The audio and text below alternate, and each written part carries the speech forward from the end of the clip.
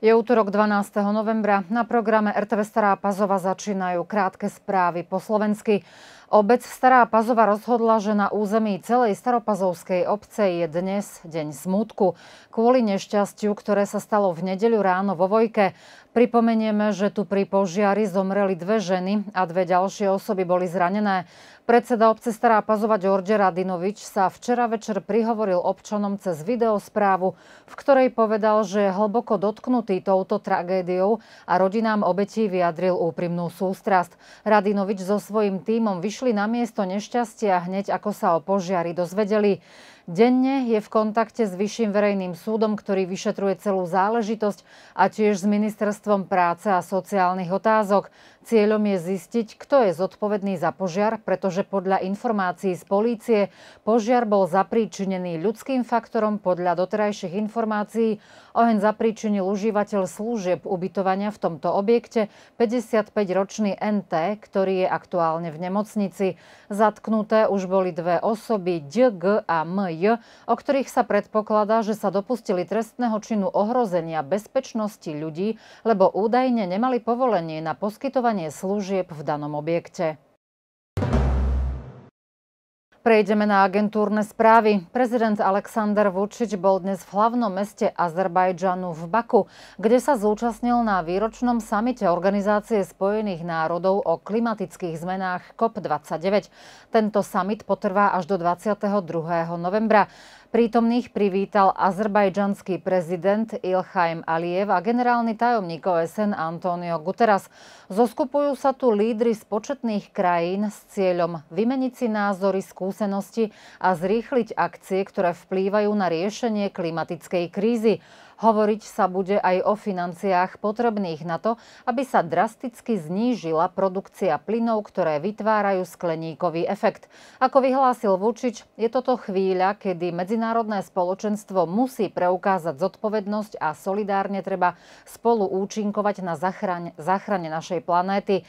Srbsko sa pridružuje ku globálnym snahám v boji proti klimatickým zmenám. Ako uviedol Vučič, ide o snahy prostredníctvom národných stratégií a politiky, ktorá sa zameriava aj na to, aby sa znížili emisie oxidu uhličitého, propagovala sa energetická účinnosť, podporil sa prechod na využívanie zelenej energie a chránila sa biodiverzita.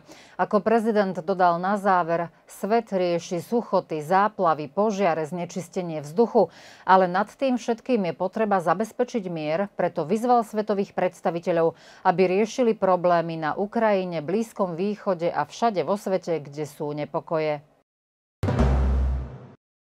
Rada pre bezpečnosť v doprave obce Stará Pazova vypísala verejnú výzvu na podávanie žiadosti na získanie bezplatných detských autosedačiek pre deti, ktoré sa narodili v čase od 1. mája do 30. júna tohto roku.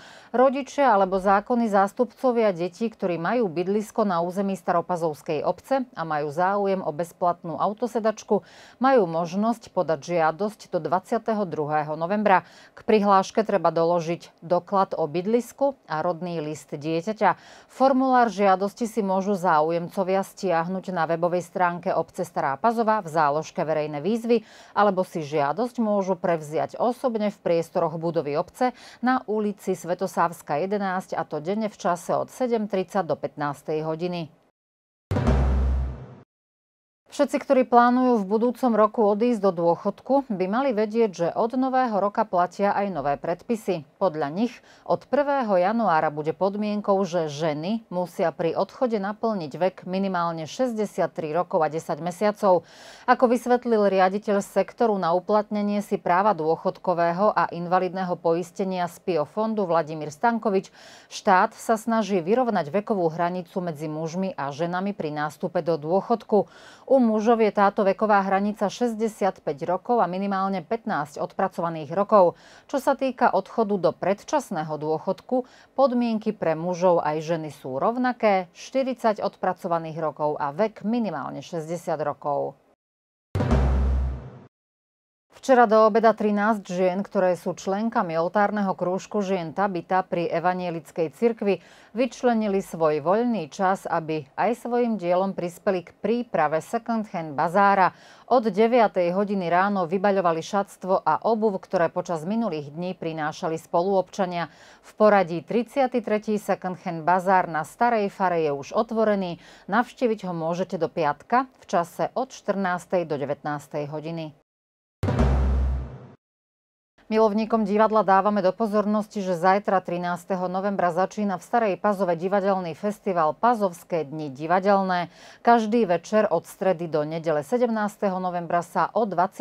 hodine večer bude v Staropazovskom divadle hrať predstavenie. Vstupné je 300 dinárov. Predstavia sa herci zajtra z Veľkej Plany, ďalej z Bogatiča, Smedereva, Petrovca na Mlave a Mladok Crniča. Dnes v predsále divadla mala byť verejnosti odprezentovaná kniha Debut mladej autorky Márie Grbičovej zo Starej Pazovy. Titul má názov Keď by hviezda spadla z neba. Z dôvodu Dňa smútku v Staropazovskej obci sú zrušené takéto podujatia a preto sa promócia tejto knihy presúva až na koniec novembra na piatok 29. o čom vás ešte budeme informovať. Ako zverejnil podnik Elektrodistribúcia, zajtra kvôli elektromontážnym prácam bude v čase od 9. do 12. hodiny odstavený elektrický prúd v Starých Bánovciach a Nových Bánovciach. Ide o dlhší zoznam ulic, ktorý je zverejnený na stránke elektrodistribúcia.rs alebo rtvstarápazova.rs. Volejbalistkám jednoty sa nepodarilo premôcť súperky z klubu Tent Obrenovac. V šiestom kole Superligy Srbska Obrenovčanky zvíťazili s maximálnym možným rozdielom 3-0, čím si potvrdili svoje vedúce postavenie v tabuľke. Staropazovčanky sa po šiestom kole nachádzajú na 7. mieste, na svojom konte majú dve víťazstva a štyri prehry. V ďalšom kole sa jednota Stará Pazova stretne s klubom z Indie, ktorý je v spodnej časti tabuľky a zápas je na programe v piatok 15. novembra novembra v hale jednoty. Čo sa týka volejbalistov mužov, v šiestom kole Superligy prehrali s klubom z Nišu. Išlo o napínavý zápas, o čom svedčí aj výsledok 2-3 v neprospech Staropazovčanov. V ďalšom kole 15. novembra sa naši volejbalisti stretnú so súpermi Dubočica u nich v Leskovci. Sobotu sa odohralo 8. kolo superhádzanárskej ligy, kde sa stretli Mladosť Nová Pazova a Bekamenc Arandelovca. Výsledok 27-23 v prospech hádzanáriek Nová Pazova. Ako vyhlásil nový trénor Mladosti Alexander Roganovič, verili, že môžu zvíťaziť, aj keď mali problém s chorými hráčmi a zraneniami niektorých jednotlivcov. Mladosť je aktuálne na 7. mieste v tabuľke, má za sebou 3 víťazstva a 5 prehier. Následuje dlhšia pauza a potom v 9 piatom kole sa hádzanárky mladosti stretnú v Indii so súperkami z klubu Železničiar, čo však bude až v polovici januára.